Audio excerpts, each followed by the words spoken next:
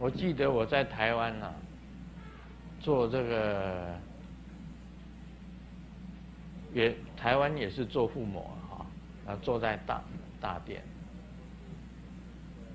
那个菩萨事先告诉我，那天将会来给你祝贺，啊祝贺我的寿辰。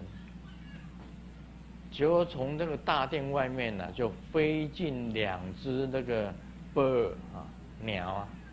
飞进来，然后绕着柱子绕一圈，然后再飞出去。